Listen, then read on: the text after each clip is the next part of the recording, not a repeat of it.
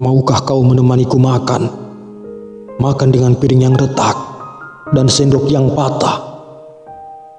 Makan menghabiskan hatiku yang pecah. Itulah makan malam terakhirnya di surga kecilnya yang suram. Besok ia sudah terusir dan kalah dan harus pergi menuju entah. Lalu mereka berfoto bersama, sementara mobil patroli berjaga-jaga di ujung sana.